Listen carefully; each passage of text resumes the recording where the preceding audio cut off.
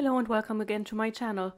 This one is going to be a bit different. I don't know if it's going to be more than one episode like this. It's just that something I've discovered while mapping, uh, something of historical interest maybe to some people.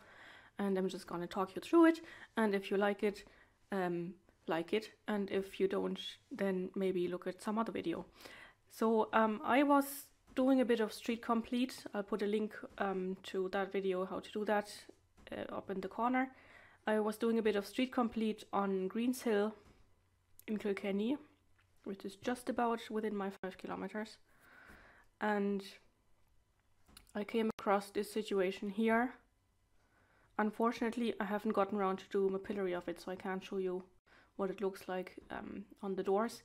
But I came to this here. We were walking down this road, Greenshill, towards um, the old Dunmore graveyard but the road was flooded, so we didn't get there.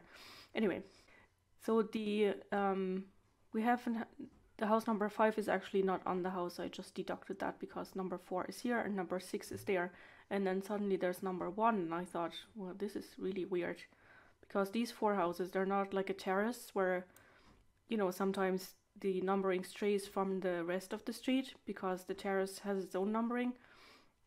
No, it just stopped here.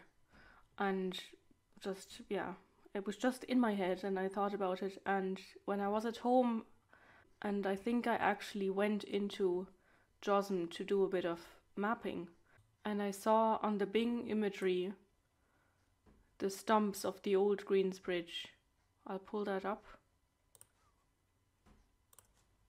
So here on the bing map you can see there's something in the water.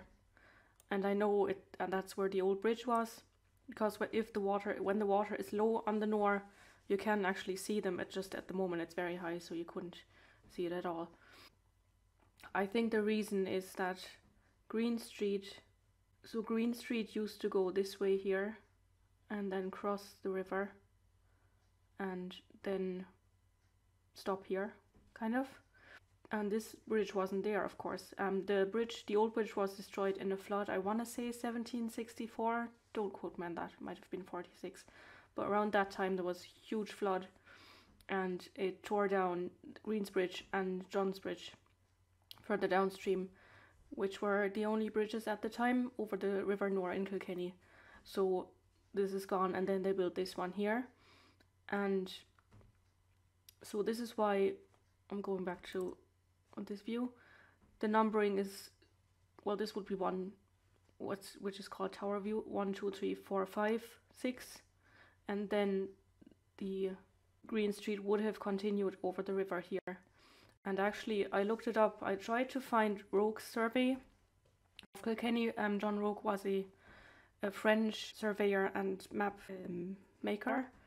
A Huguenot whose family had fled to London from France and um, he surveyed Kilkenny and the map is quite famous, or the survey, like he called it. I couldn't find it online. I know the Kilkenny Archaeological Society have a copy in the library, but it's just not convenient for me to cycle in there. So I found a reproduction on archive.org. Uh, bear in mind that this is not aligned to the north. So if you look here,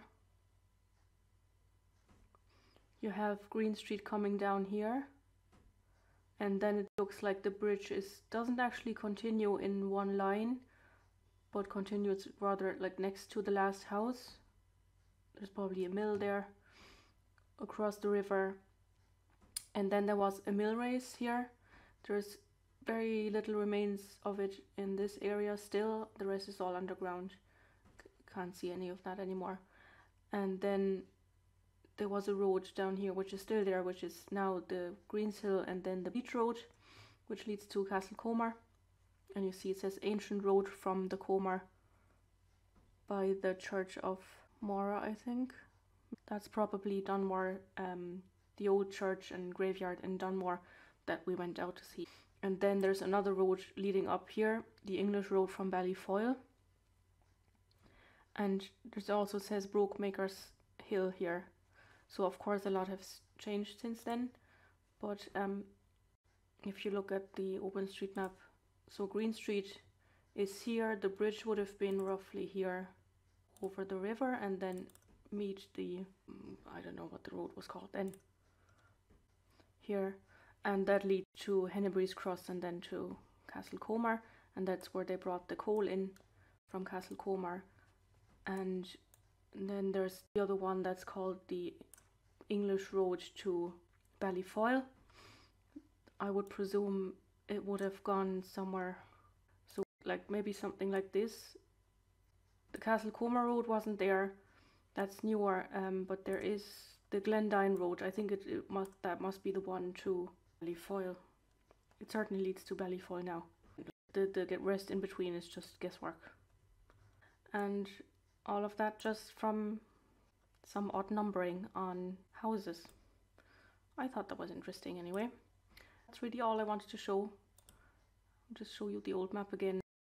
Yeah so it's, it's really difficult to estimate where that one to Ballyfoyle went exactly and there's two roads to Ballyfoyle one the new Orchard Road and um, this one the which is the Glendine Road first and then across the ring road I think and it's called the Ballyfoyle Road or something like that I hope you enjoyed it and uh, we'll see if, if I find more interesting stuff related to maps and I might make another video.